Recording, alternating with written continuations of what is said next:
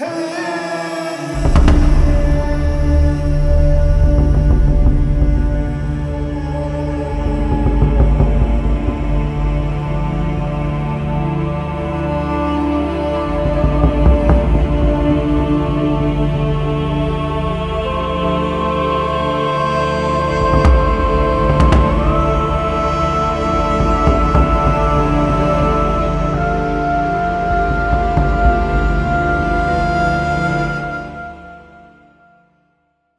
ourselves a race here, but we're going to get a turn 1 Harpling, turn 2 Settle. Hopefully we can push through this Etali.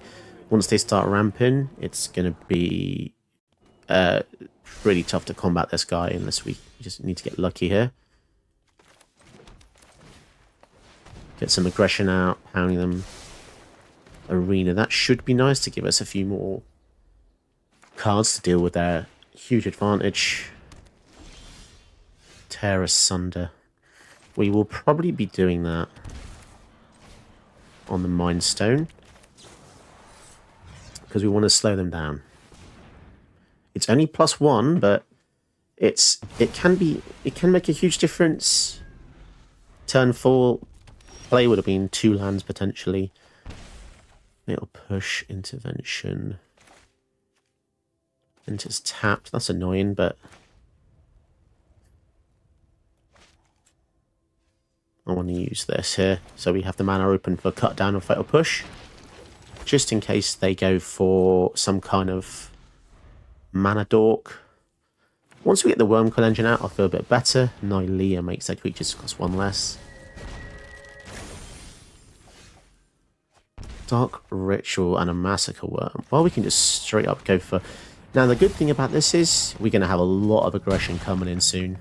And because they're red-green, they're not going to be able to deal with all this stuff unless they get um, some kind of big wipe. Catch up Oasis. I mean, it's working out pretty well so far. So we're going to have lethal here. Down to 8. I'm going to leave up the heroic intervention just so we can get through next turn. Okay, so here comes Etali. What do they get? This could make all the difference. Oh god.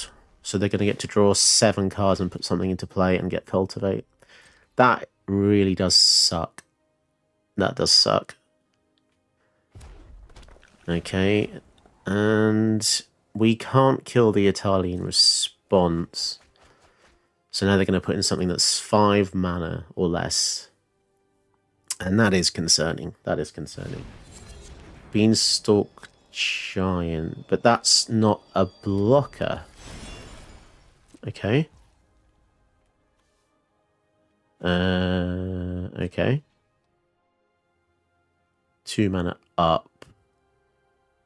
What are they going to do? Abrade this? If they do abrade this, we're going to Heroic Intervention. So they're probably just discarding to hand size. So we have to pretty much win now. Saka Desert, something is plus three, plus three. Give the Storrev plus three, plus three. Sacrifice the desert. That works out fine, I think. So that's going to be an 8-7 trample. So they have to block the Storrev.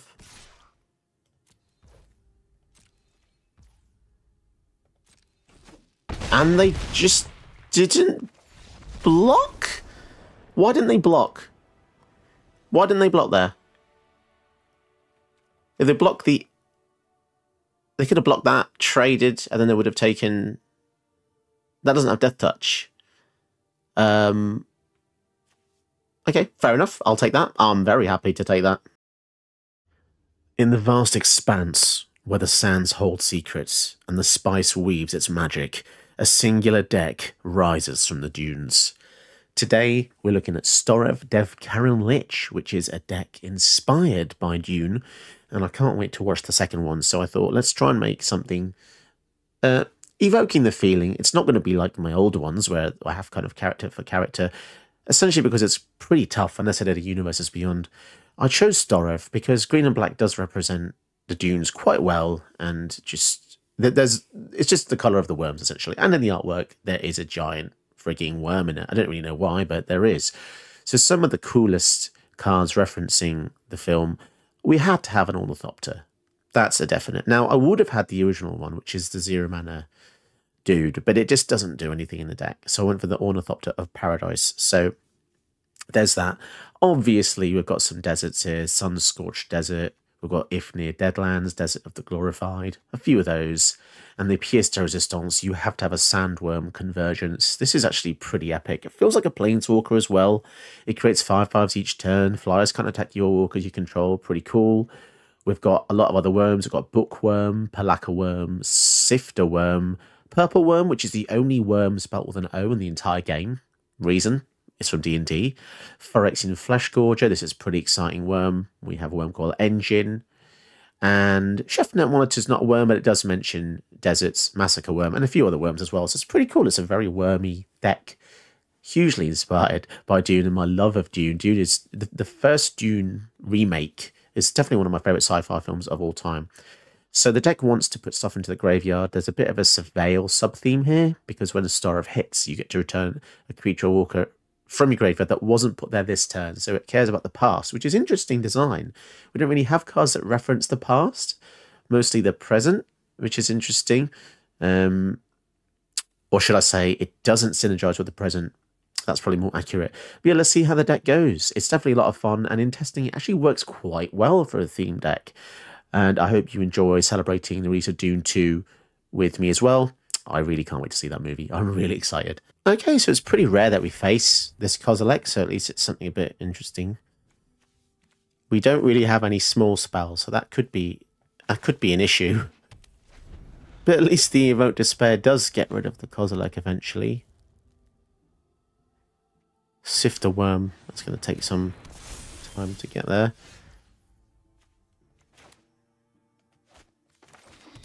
Lots of lands coming in tapped. So we don't have any plays till next turn, sadly, but yeah. Flesh Gorger could be good. A 3-3. It's decent.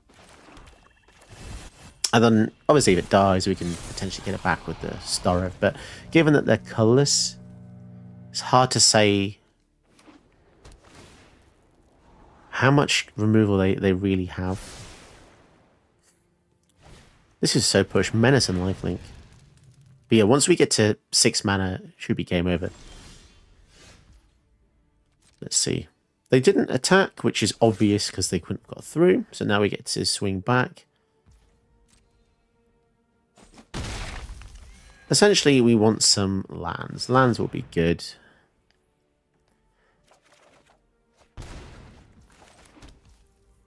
Sword of Once and Future is pretty sick as well. If we can equip that to the Flesh Gorger, We'll be dealing 5 damage. We'll be uh, playing spells from the graveyard, including Sign in Blood, Mastery Shaper. So they can crew that if they really want to. Let's just get rid of it now. So they get to transmogrify this into another spell, basically. Real top card. If it's permanent with mana value 3 or less put into play. It's pretty good. Oh, they just ramped. Three, four, five, six, seven. Okay. At least they can't crew that. Death Sprout, protection from Michael. Of course it is.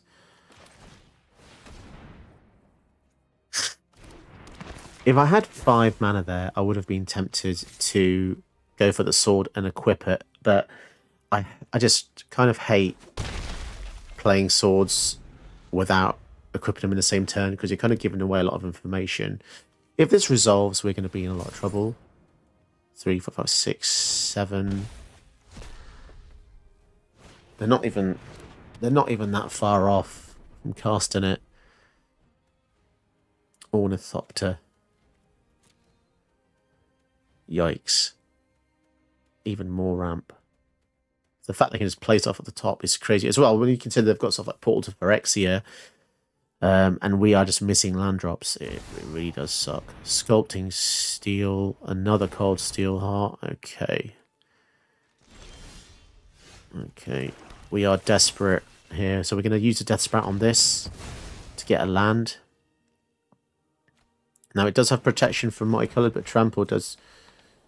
Actually, if we do this... Do this... They can't block very easily.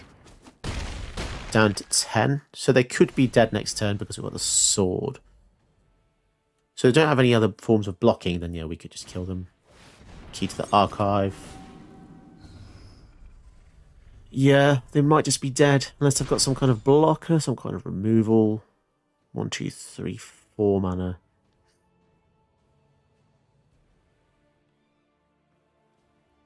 What could they possibly do? Yeah, they're definitely dead then, really. What? I mean, two mana now. Inventors Fair. It's pretty close race, though, down to nine.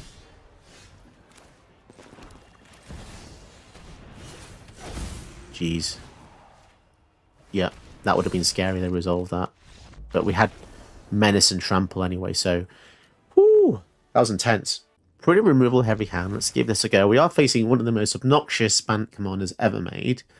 But let's be honest, it's just every deck these days, isn't it? Every deck I face is obnoxious people. If you have a room of 100 people and it starts off with 50 nice people and 50 horrible people, eventually the nice people will just get fed up with the shit that the horrible people give them, so the nice people will leave the room. That's probably the nicest analogy I can think of any online gaming server. You know, there's going to be only so much that a nice person can take before they leave. Now, I think I'm a nice person. Um, so I must be one of the anomalies here that is just kind of staying. And I don't really know why sometimes, but there you go.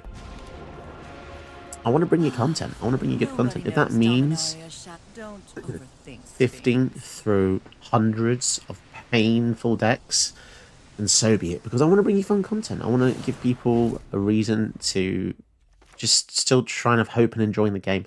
It's difficult. It's very difficult. Hmm, especially when...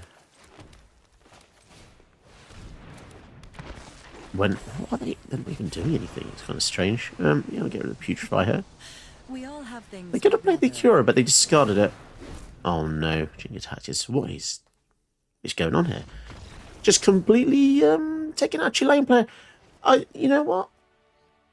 It's a very powerful deck and I don't really enjoy facing it, so I'll just take that win. But yeah, be wary if you see this, it's not going to end well a lot of the time.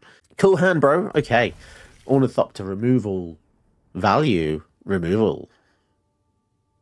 Sweet. Pantlaza. Well, that's something we we don't see very often, isn't it, guys? Okay, so Sheep's Sanctuary, put in the bin. Probably just want some more lands, really. Want to get to the big worms. Get the worms out. Get the worms out, get the ornithopter out. It's all good. It's all good. I can't get over the fact that this looks like a toy duck. it looks like a toy duck. My son has a little yellow duck that looks a bit like this. Doesn't have the massive wings, but yeah. Okay. I guess we'll go for the Glissa. Oh, I love how this is a dual type Surveil land. It's so sick. It means that comes in untapped. It means we can for the Alarm Elves. It's tremendous. Now, how many board wipes is Pantlaza going to have? I don't know. Spikefield Hazard. Wow, they used a a land MDFC to kill one of the ones. I mean, fair enough, fair enough. But we already have Glissa. Glissa's good enough for me. Fable of the Mirror-Breaker. Now, here's here's the thing. We're probably just going to kill the Fable here. Get rid of that silly 2-2. Desmond 2-2. Swinging with a Glissa. Boom.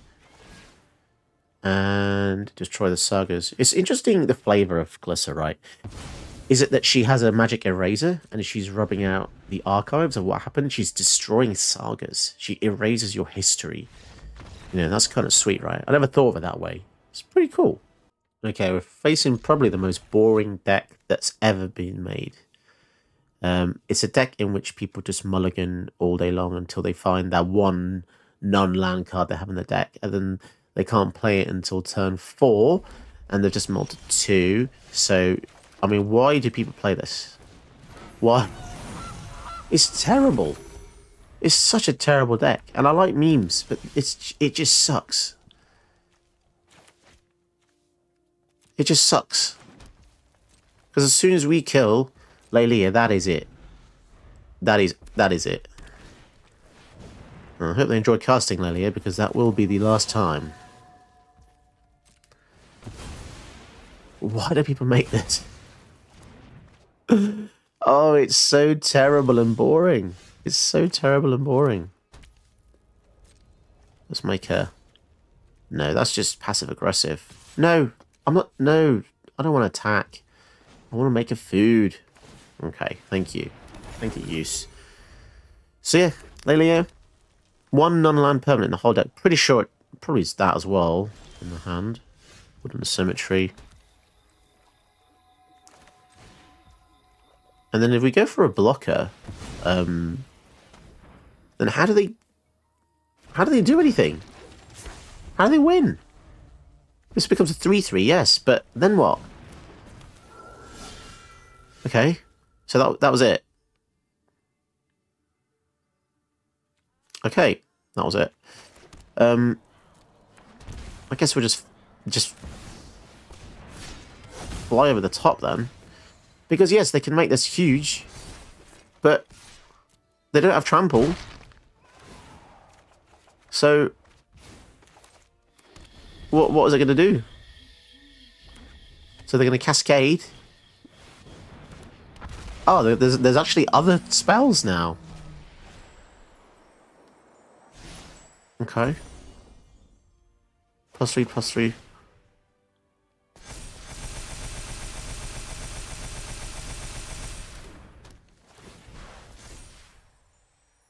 I mean, okay, gives trample, but I'm just gonna just gonna blow it up then.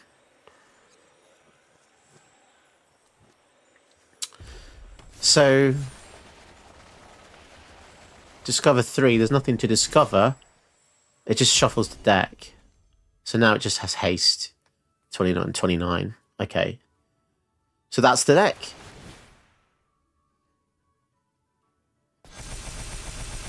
So we just have to block this until the end of time now. That's pretty big, though.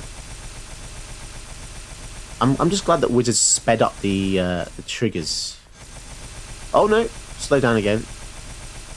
Sweet. Sounds like a laser machine gun.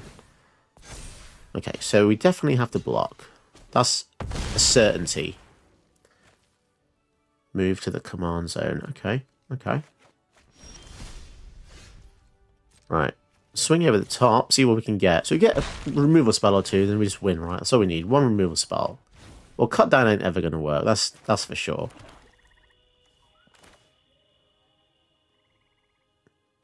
Go for Pelakka Wurm here. Okay, so we're going to have to block this again, but there's no removal in the deck. This is just this is just it.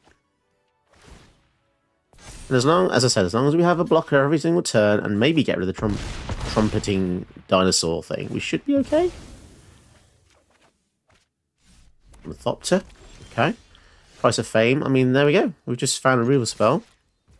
And uh, that's pretty much it, isn't it? That's just the game. That's that's the game, guys. Surveil 1, Cavern of Souls. Price of Fame. Kill it. is this fun? Is it fun to have a deck with like two, three? So it's three cards, is it? God knows.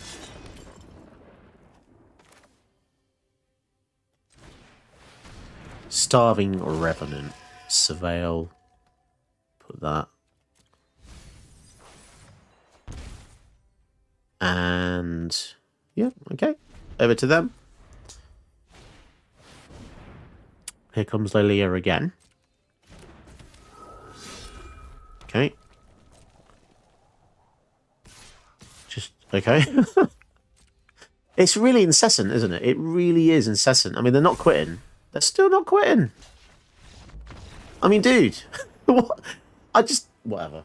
Whatever. I just, I don't get the community, man. I just don't get it. Okay, so how did that go? So, in the background, I had quite a lot of games, and to be honest, I've got a bit of a headache now because I faced so many high tier decks, and it's just painful. Um, the matchups for this felt really ridiculous, considering I'm playing a meme deck. Really, to be honest, look at all these big worm drops. Yeah, not, it's going to be tough to cast these.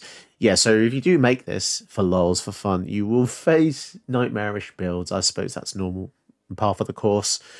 Um, how do I like the deck? I actually think it's really fun, but it just needs room to breathe. Just like any theme build, it's it's really difficult these days to make theme builds compared to when I first started the channel three years ago.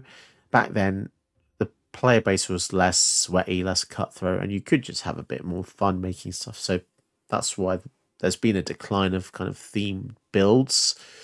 It, it does work pretty well. I mean, even without getting creatures back from your graveyard, the body of this is sick. 5 4 trample is actually really nice with these swords because the trample just means you can do the combat damage, which is exactly what you want to do to trigger these swords. So it works pretty well. I think where the deck falls short is sadly just the nature of the theme. Worms are huge. Worms are so hard to get out. Seven mana, eight mana. You know, worm conversion. This is probably the best one. It's not even a worm, but it does make worms. There are ways to make them cheaper, obviously. We've got Nylea to make creatures one less to cast. Garrett can perpetually do that as well. Worn Power Stone gives plus two, Cultivate plus one, Ornithopter, and the rest of them give you plus one. Maybe it needs more ramp, but it definitely needs either work or just changing the theme to make it uh, a good kind of build. The commander, independent of the theme, I do like it. I think it's probably better as a finisher, so a hugely well, a, a more aggressive curve maybe strives to the the high end. We've got you know five, six, seven, eight, nine drops here that just make it super difficult to be aggressive. I think this wants to be aggressive because even the clue is that the fact he wants to deal damage. When a card says deal damage, you should probably follow those steps in order to do to to do that to get the synergy.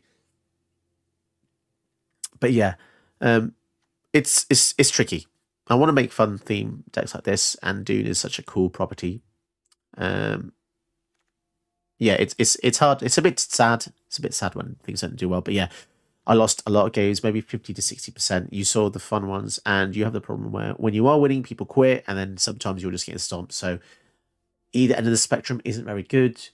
It's a rare time when I didn't really get a good long game, like fifteen minute games. They're, they're my favorites. I think they're your favorite as well. But yeah, maybe you can tweak it and tell me how you change it. What do you think? Um, give it a go. Deck list in the description below.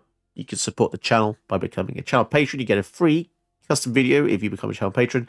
And if you want to donate to the channel, you can via Ko-fi.com. Details there as well. You can donate a one-off amount, enough to buy me a coffee, a ticket to the cinema, anything, anything you think to support the channel. Because, uh, yeah, YouTube doesn't pay very well. But until next time, watch another one of my videos. Support me that way as well. Did you know that you can help my channel by watching another one of my videos? Go ahead, you know you want to.